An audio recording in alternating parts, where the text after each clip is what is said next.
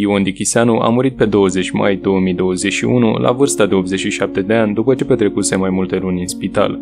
S-a stins din viață în urma unei pneumonii bilaterale dezvoltate în urma infectării cu o bacterie periculoasă.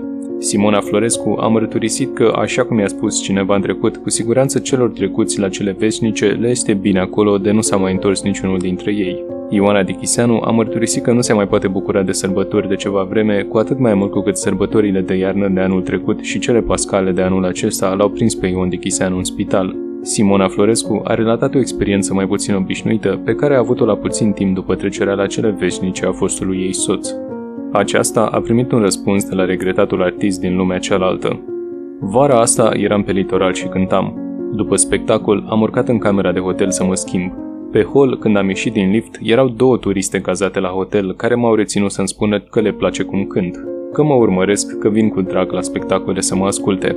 Apoi m-am dus în cameră să mă schimb, mă învățase un bioenergoterapeut că atunci când vreau să aflu ceva de la cineva de pe lumea cealaltă, să-l rog pe Dumnezeu să-mi permită să-i pun o întrebare.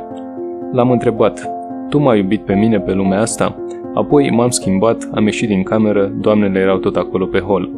M-au reținut din nou și mi-au zis ce frumos cânt, dar să știți, doamna Simona, că noi vă iubim foarte mult și când spunem asta vine de la Dumnezeu. Atunci am înțeles că astfel am aflat un răspuns la întrebarea mea. Am rămas blocată.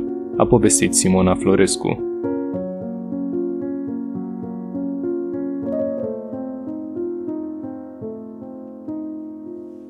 Vă mulțumesc că ați privit până la final. Dacă v-a plăcut ce ați văzut și dacă nu sunteți abonat al canalului, am să vă rog să apăsați pe butonul roșu pentru a vă abona, dar și pe clopoțel pentru a primi notificări când apar clipuri de acest gen pe canal. La revedere!